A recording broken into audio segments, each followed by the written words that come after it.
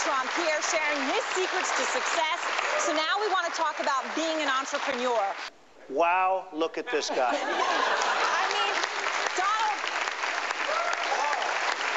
I thought I had to go to the Caribbean to find a coral reef, but I guess I found one here. I think that you need to, to That come is out, something very different and I very mean, special.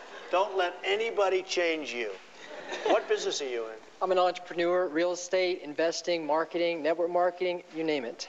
Well, you know, you're at a slight disadvantage in that business. Now, if you were a surfer dude or something else, I think you'd be probably right. But, you know, this is the way you feel good, right? Absolutely. And I You got see my, look, come here. Is it real? Wow, I can't believe I'm getting to do Uh, this. look, is it real? it's real. I take more heat.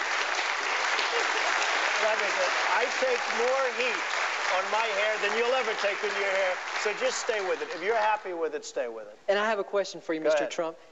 In business and as an entrepreneur, how important is it to have a distinct personality or a distinct look?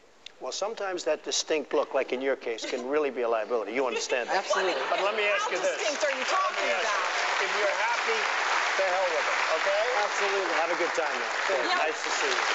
Donald just signed off on that. Now, now, hold on. real. Donald, do you want to?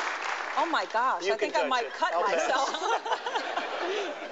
All right, you can go You back. just keep it up.